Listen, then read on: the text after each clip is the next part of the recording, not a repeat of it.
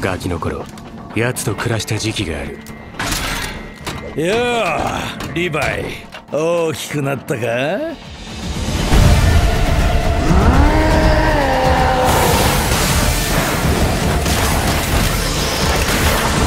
もうみんなに優しくていい子のクリスタはいないの。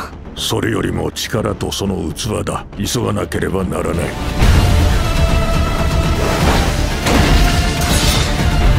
道のりは長そうだな巨人の硬質化の力を使って壁を塞ぐってのは。